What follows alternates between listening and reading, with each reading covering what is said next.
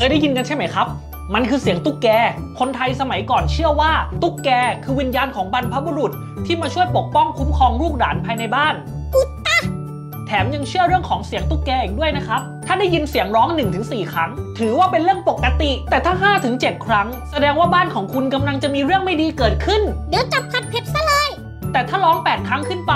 จะถือว่าโชคดีทั้งหมด ปกติแล้วตุ๊กแกมันจะร้องเฉพาะเวลากลางคืนเท่านั้น แต่ถ้าได้ยินเสียงมันตอนกลางวัน เป็นสัญญาณเตือนว่าเรื่องร้ายๆกำลังจะเกิด แต่ในความเป็นจริงแล้ว ตุ๊กแกกลางวันมันนอน กลางคืนมันออกหากิน และร้องก็เพื่อต้องการประกาศอาณาเขต ไม่ได้เกี่ยวกับลางร้ายเลย ถึงจะไม่เชื่อ แต่ก็อย่าลบหลู่นะครับ และเพื่อนๆรู้ไหมครับว่า สัตว์อะไร ไม่ใช่ของฉันก่อนที่ป๊อปจะเฉลยอย่าลืมกดถูกใจกดติดตาม เพื่อจะได้ไม่พลาดคลิปใหม่ๆของป๊อปด้วยนะครับ และคำตอบคือ